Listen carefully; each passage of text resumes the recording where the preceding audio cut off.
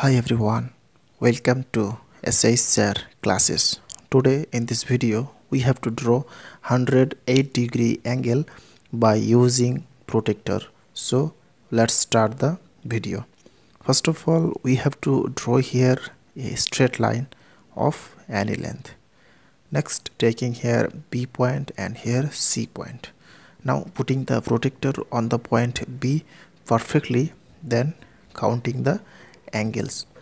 So this is starting angle 0 10 20 30 40 50 60 70 80 90 100 105 6 7 8 so this is 108 degree.